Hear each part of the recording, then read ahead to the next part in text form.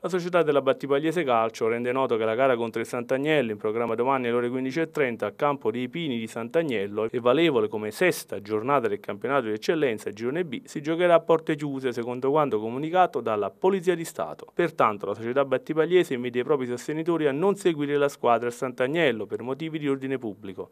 Intanto mister Pietro Pinto ha una buona notizia dall'infermeria. L'attaccante Fausto Piccirillo, dopo i pochi minuti disputati a causa di un infortunio alla caviglia, ha recuperato ed è a disposizione. Domani dovrebbe essere schierato titolare.